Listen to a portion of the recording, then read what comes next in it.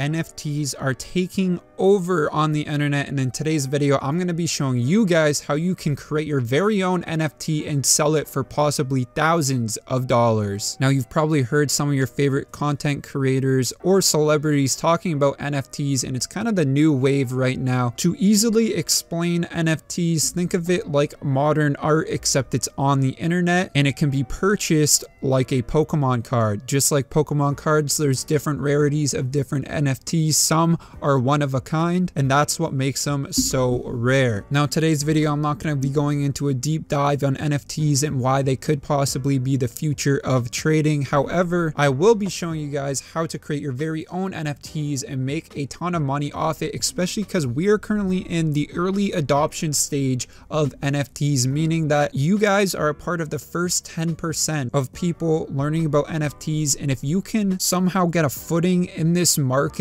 early on, you could potentially make thousands or millions of dollars. Who knows how crazy NFTs are going to go in the future. I really do think NFTs are the new wave and there's going to be a lot of money to be made in the next couple of years. Before we do get into the tutorial, I have to ask you guys, please do leave a like on this video and subscribe to the channel as it helps me out a ton. I constantly post tutorial videos and I know you guys will like the channel. I'm also trying to hit 100,000 subscribers. That's the end goal. So if you guys could subscribe, it would be so helpful to me hitting that 100k subscriber plaque. Anyways, let's get right into it. So the first thing you want to do is go onto your phone and go to the app store and find an app called Rainbow Ethereum Wallet. And apologies to everyone. I swear I have dyslexia when it comes to this word. I always say Ethereum, even though I know people say it's Ethereum. I just have dyslexia when I say that word. Don't know why, but you guys will know what I'm talking about. So once you get to this app, you just want to open it up and without doing anything, it's going to make you an account. Now, once your account is made, what you want to do is put some Ethereum into your account. I would recommend about $20 and you can do this by using Apple Pay. You can put more than $20 into your account, but honestly, your first NFT to upload will only cost you about 10 to $15. So I wouldn't really go overboard, especially if you're just testing the waters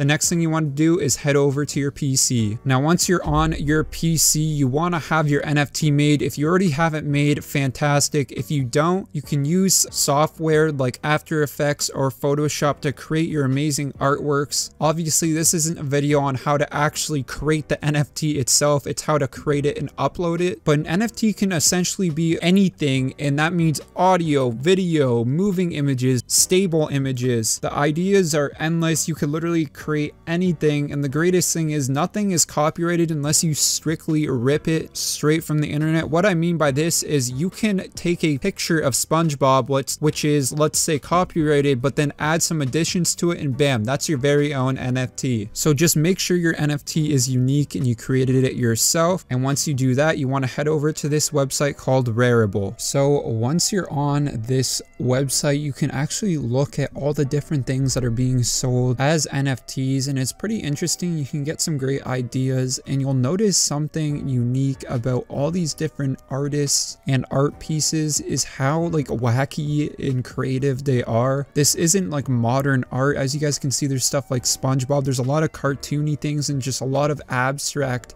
moving art. Like I was saying before, NFTs don't necessarily just have to be a still image. A lot of these NFTs that are selling for high prices are moving images like this car one right here. So if you are very artistically skilled and have very good computer skills, you can make these moving images and they sell for a lot more than just still images and they obviously look a lot cooler. But yeah, I definitely recommend before you sell anything or create any of your art to look at some of these examples to get some ideas on what you want your art pieces to be. Anyways, to get back on track, once you're on this website, you want to go to connect wallet at the top right here and there's going to be four options. If you downloaded the Rainbow app that I recommended in the beginning of this video, the option that you want to click is Wallet Connect. Obviously, if you're using different apps, you might have to use one of the other choices, but if you're following a tutorial along, make sure you click Wallet Connect and then it's going to ask you to scan a QR code. So all you want to do is go back to your Rainbow app and then in the top right, you're going to see this blue button that looks like a QR code. You just want to click that. It's going to ask you for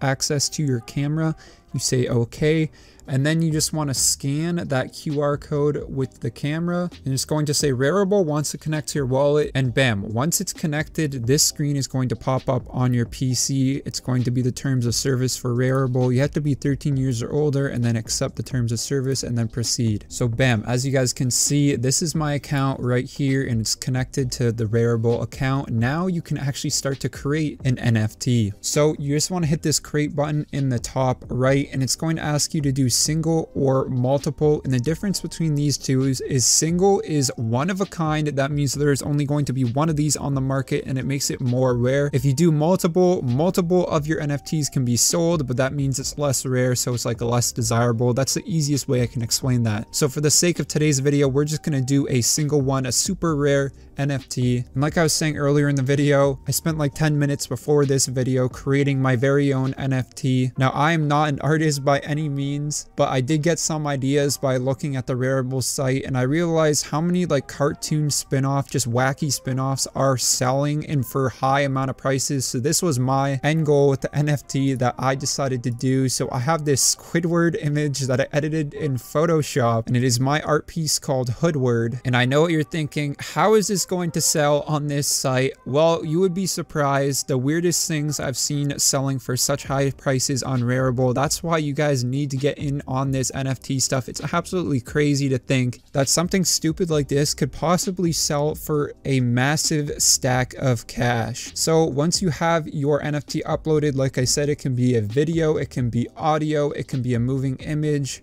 whatever you have, there's going to be more options towards the bottom. One saying put on sale. If you want to hit put on sale, this is how you can actually sell the NFT. If you tick this off, it will just put it into your very own wallet. The easiest way I can explain this is say you have a baseball in your closet and you want to sell the baseball on eBay. Well, let's say you don't want to sell it, then it just stays in your closet. So I do want to sell this. That's why I'm going to hit put on sale. And then there's instant sale price. And basically what this means is if you have it ticked, you can set the instant price to being $50. And that means the first person to pay $50 instantly gets this NFT. And sorry, I shouldn't say $50. I actually mean 50 Ethereum. Personally, I wouldn't recommend putting an instant sale price on any of your NFTs because you can have people bid for way more than you'd think that it would go for. If you set it at an instant sale price, and let's say you do 20, people could have possibly bid that for like $100. I don't know. That's just my opinion. It's all up to you guys when you want to sell your NFTs. The next option is unlock once purchased. And what this feature does is you can link a digital key or a download link after they purchase your NFT. And it's kind of like a bonus. Some cool things I've seen people do is upload a even higher definition file, or they might do like a tutorial video, like a video of them live creating that NFT and only the owner of the NFT gets to see. I don't know. There's cool things you can do with this. I'm not going to play around with it. However, if you guys want to try stuff out and give people an added bonus when they purchase your NFT, all to you. The next thing is choosing a collection and we are just going to choose the Rarible collection. I don't really feel like creating a whole new one and it's kind of complicated with the collections and how they work, but basically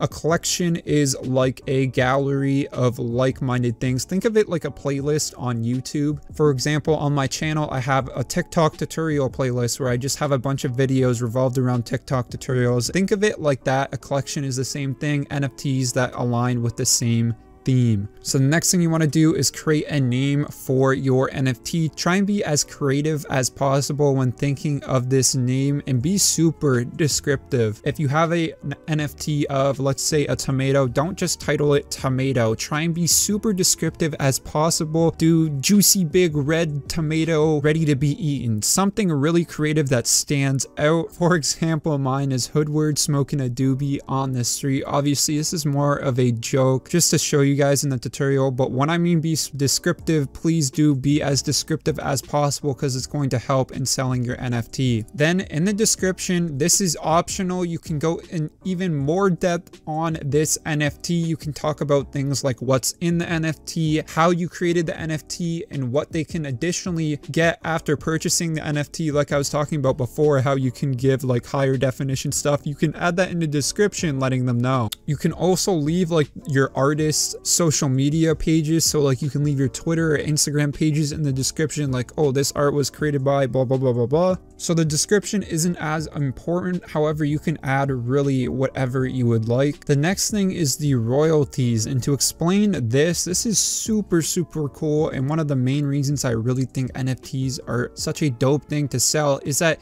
you can actually get royalties off every single time your NFT is purchased. And basically what this means is when someone sells your NFT that they bought off you, you can take a 10% royalty from that person. So that means you can just consistently make money off your artwork even after it's been sold. The reason this is so cool is because you can't do this with modern art. Once you sell an art piece in the real world, you just can't claim royalties. That'd be impossible. But with NFTs, you actually can. Now they suggest anywhere from 10% to 30% on the royalties. We're to do right in the middle. We're going to do 20%. That's where I feel like is the best royalty fee. And then for the size, what I like to put in the properties is the exact pixel size of the image that you uploaded or the video that you uploaded. Now, for example, my image is 1200 by 1200. So I'm just going to do size and put in bracket pixels and do 1200 x 1200. And that just gives the buyer even more information on how big this image is and what to expect when they purchase it. And once you have all these things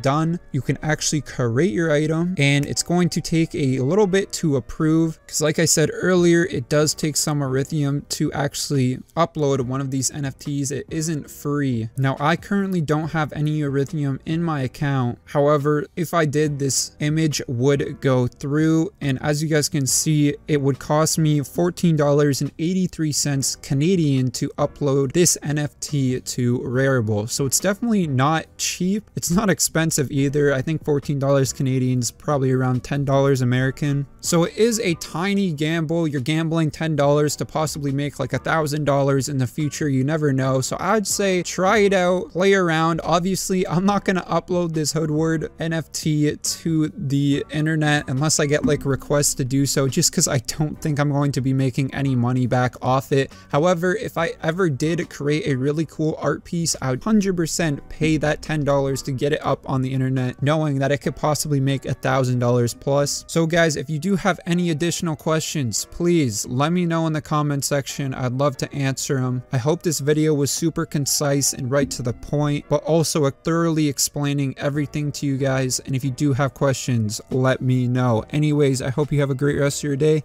Peace. See you guys later.